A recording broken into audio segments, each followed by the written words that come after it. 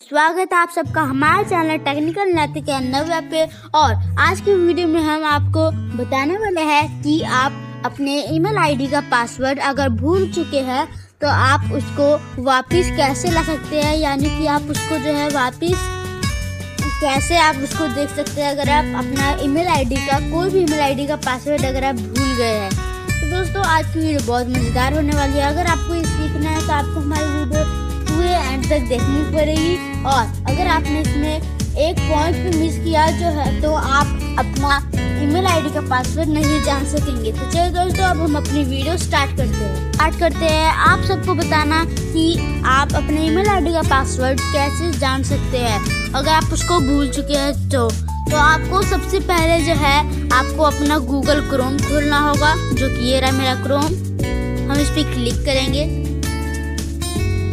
और क्लिक करने के बाद जो है, आपको कुछ ऐसा इंटरफेस दिखेगा तो आपको ऊपर एक रेड कलर का एरो का निशान दिखेगा। तो आपको इस पर क्लिक करना है।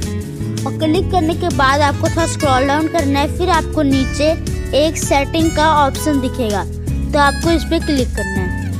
क्लिक करने के बाद आपके पास कुछ ऐसा इंटरफेस आएगा। तो आपको ऊपर में ही जो है एक पासवर्ड पासवर्ड्स लिख के एक ऑप्शन मिलेगा तो आपको इस पर क्लिक कर देना है।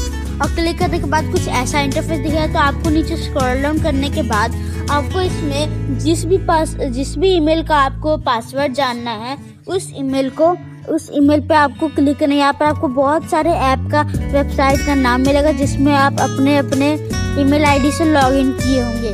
चलो दोस्तों मैं इसमें से कोई एक पर क्लिक करता हूँ। तो क्लिक करने के बाद जो है आपको कुछ ऐसा इंटरफेस दिखेगा और इंटरफेस दिखने के बाद आपको नीचे पासवर्ड करके और डॉट डॉट डॉट डॉट दिखाई देगा। उसके बगल में एक आपको ये सीन का ऑप्शन दिखाई देगा।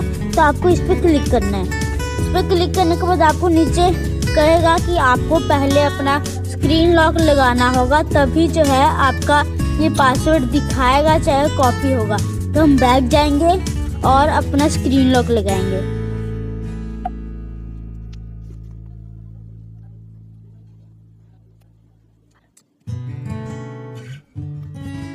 तो चलिए दोस्तों, हमारा जो है पासवर्ड लग चुका है और अब हम फिर से इसी आई वाले आइकन पे जो है हम क्लिक करेंगे।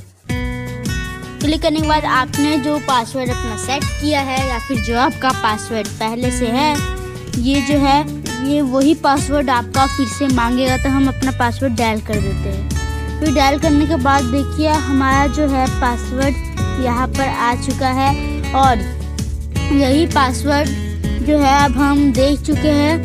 तो और अगर आपको अपना पासवर्ड कॉपी करना है तो आपको यहाँ लास्ट में एक आइकन दिखेगा कॉपी करने का।